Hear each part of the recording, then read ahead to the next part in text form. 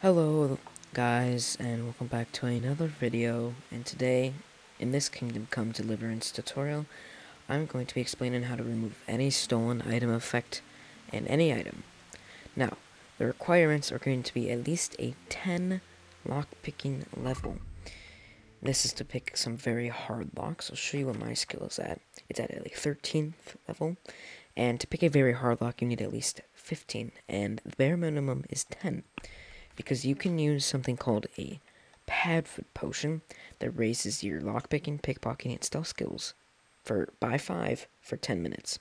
You can get these at the apothecary or make them. So if you want to know how to make them, just search them online. So today I'm going to show you how to do that. But first we need to get a stolen item. So I was thinking of robbing this bathhouse by Rattay just to show that the stolen item can be any time recently. So we gotta wait for her to close the door and go to bed. So what I'm gonna do is I'm gonna wait a little longer for her to get to bed. Wait for this long loading screen. And if you're wondering, I'm using the best, best stealth outfit. So I'll be making a video on this soon. As you can see, I have zero noise, 20 vitality, and 24 conspicuation. But apparently something's raising my, uh, oh, probably the torch. But we're gonna rob something, so I'm gonna remove the torch. I think I, no, okay. We're gonna get all stealthy. Now you can use a Padfoot potion to raise your stealth right now if you want to, if you're going to steal an item. But I'm gonna eat a Savior Schnapps to save. And again, the reason I'm showing this is to know something can be stolen for this to work. So this is open actually, so you should have to lockpick this, so hopefully no one's awake. Okay. We're gonna go up. Hopefully that no one's awake. And there are two women right here are sleeping. And I'm gonna go somewhere a little bit more secluded. This uh, this uh, bedroom. Hopefully, steal something from this trunk. Hopefully. No, probably not. They're too awake. So I'm gonna. Uh, what am I gonna do? I think I already have this chest unlocked, so I'm going to have to take something from it. Nope, it's a hard luck, so I might have to pickpocket her. There you go. she seems a little bit too wakey, so I'm gonna have to. This might is gonna wake someone. No, okay, so we're gonna take uh loot. We're gonna take this nightgown, just for reasons. And as you can see, if I go to armor, this nightgown is stolen.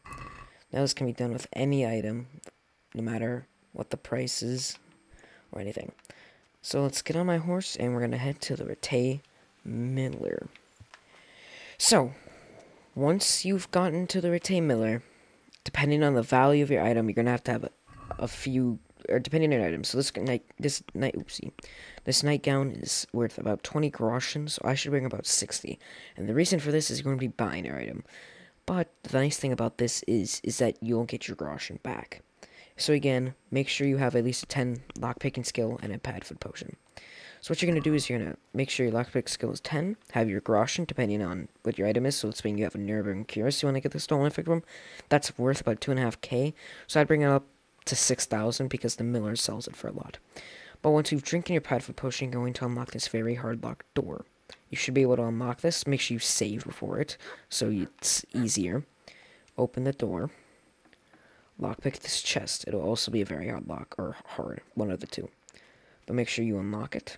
And you're trespassing, but that's fine. So what you're doing is going to rob it. Now, as you can see, here he has a K garage, so if you want to take that, you can. But go over to your stolen item and put it in there. Now, you got to be quick about this because he sells his his sell he sells his armor. So you're gonna go over to the miller. He should be sleeping somewhere. I'm gonna go up to the miller. He should be awake. I thought I heard him move. You're gonna talk to him, and if he's like, "Oh, bugger off," wait till morning, and hopefully your item's still there, or wait till the morning when he's not paying attention. So you're gonna sell the stolen goods. All right.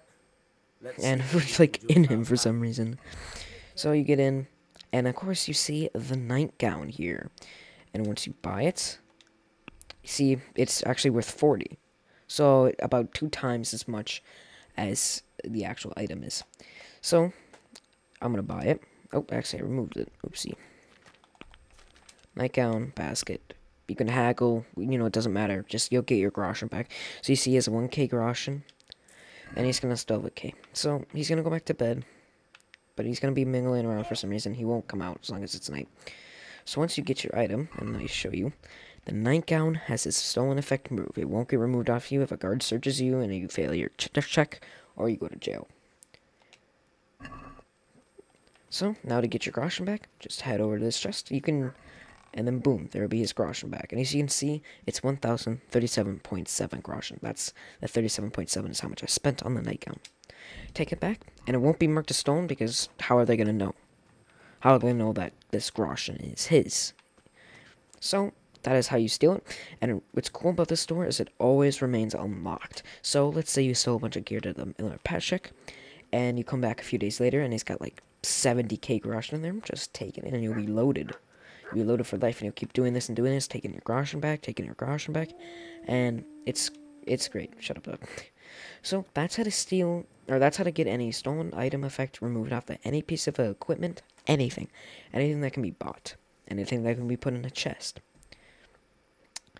Sadly, this does not work on horses, but who cares.